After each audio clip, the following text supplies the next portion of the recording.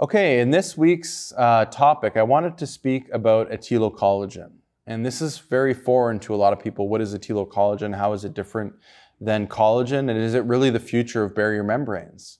And so in this video, I wanted to talk about it because, you know, it made a full chapter in our textbook, use of uh, as a next generation biomaterial. A lot of potential here, and a lot of people don't know what it is.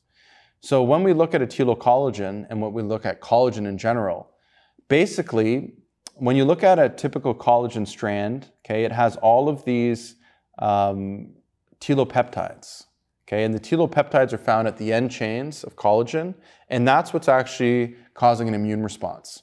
So when you take um, collagen from bovine source or from porcine source or from wherever they come from, and when you take a full collagen strand and you place it into a human, it does cause a bit of an immune response. And the reason why is because uh, the ends, these little telopeptides, are causing the immune response.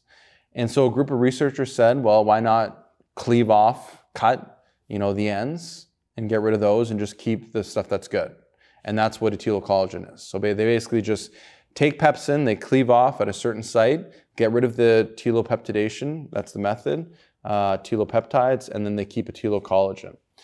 We had the chance to do a lot of work with uh. And uh, this relatively new technology makes use of processing techniques that utilize atelopeptidation and uh, lyophilization, uh, leaving roughly 25 to 30% of total collagen in a non-immunogenic fashion. Okay, so that was some work that was done many years ago, and we've since had the pleasure to publish on this topic. I did this, some of this work with uh, Misako and a couple other colleagues here, and you'll see difference between Bio-Oss and, uh, in this case here, one of the graphs, Hypro-Oss, has a collagen. You actually see the collagen right on the surface. And when you load them, like you see here with BMPs, look at the difference when Bio-Oss is loaded with BMP, right? BMP needs collagen.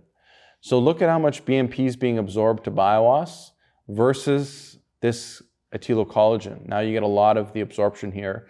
More absorption, of course, then you're going to have better regenerative potential that you see here, and uh, with some with some studies that were ongoing. Today in North America, uh, I don't believe that we have any material that's sold under collagen, such as membranes, etc.